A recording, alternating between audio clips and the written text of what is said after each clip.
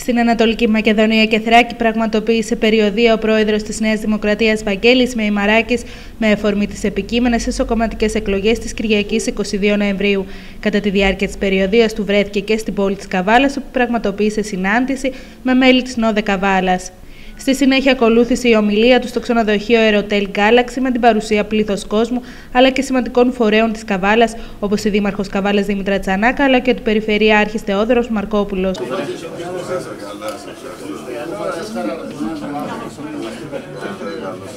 Παιδιά,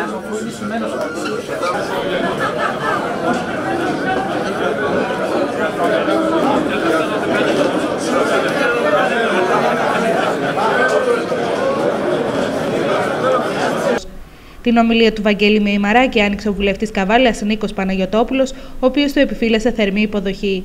Ο κ. Μεϊμαράκη στην ομιλία του στάθηκε στην πολιτική και οικονομική κατάσταση που βιώνει η χώρα και υποσχέθηκε ελαφρύνσεις στους αδυνάτους, αφού, όπως εξήγησε, η Νέα Δημοκρατία είναι το κόμμα που υποστηρίζει τις ευπαθείς ομάδες.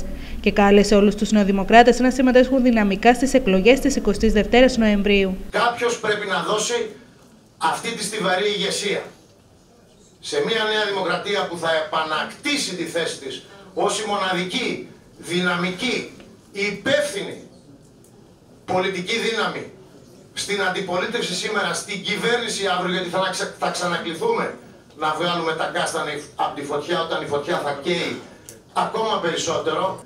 Αυτό το στιβαρό χέρι χρειαζόμαστε και κατά την προσωπική μου άποψη δεν υπάρχει καταλληλότερος άνθρωπος για να αναλάβει αυτή τη στιγμή, αυτή τη δύσκολη στιγμή, την ηγεσία της Νέας Δημοκρατίας από τον Βαγγέλη Μεμαράκη. Μου δίνετε πάρα πολύ κουράγιο να συνεχίσω αυτή την προσπάθεια που μαζί ξεκινήσαμε. Θέλω να ευχαριστήσω τον εκλεπτό φίλο και συνάδελφο, τον κύριο Παναγιωτόπουλο για τα καλά του λόγια. Να ευχαριστήσω όλους τους συναδέλφους, τους πρώην βουλευτές που βρίσκονται εδώ. Φορά από το 1974 και μετά, που λίγες εβδομάδες μόνο μετά τις εθνικές εκλογές διακρίνω στους πολίτες μια αγωνία για το αύριο. Μια ανασφάλεια, μια αβεβαιότητα για το πώς θα πορευτεί η χώρα. Και αυτό διότι η παρούσα κυβέρνηση ακολουθεί μια πολιτική η οποία φαίνεται ότι δεν μας βγάζει από την κρίση. Αντιθέτως μας βυθίζει στην κρίση με φόρους, περικοπές και αυτό δημιουργεί την ανησυχία και την ανασφάλεια για το αύριο στους πολίτες. Εμείς και στις εκλογές του Σεπτεμβρίου και τώρα έχουμε προτείνει τους δρόμους. Εγώ αισθάνομαι ότι έχουμε βάλει το λιθαράκι μας στην πρόοδο του τόπου. Μπορεί να γίνανε λάθη, μπορεί να γίνανε παραλήψεις. Μπορεί να περνάμε μια κρίση, μπορεί να έχουμε ευθύνες. Αλλά δεν μπορεί να απαρνηθούμε την προσφορά μας η Λίβδεν. Δεν μπορεί να είμαστε καλύτεροι και να είμαστε μειοψηφία. Κάτι στραβό πάει. Αυτό να το βρούμε να το διορθώσουμε. Εγώ λοιπόν φίλες και φίλοι σας καλώ να πάτε να ψηφίσετε 22 Νοεμβρίου με υπιότητα, με αγάπη. Όλοι οι νεοδημοκράτες θα έρθουν ανεξαρτήτως ποιον θέλουν.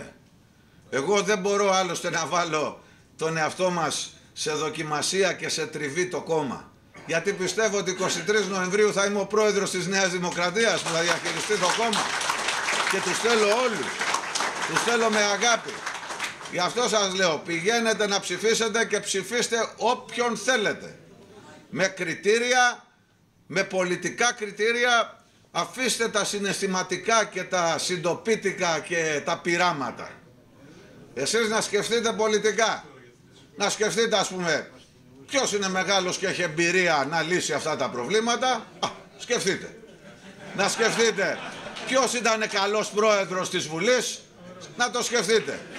Ποιος ήταν πρόεδρος της ΟΝΕΔ και η ΔΑΠ από μονοψήφιο αριθμό έγινε πρώτη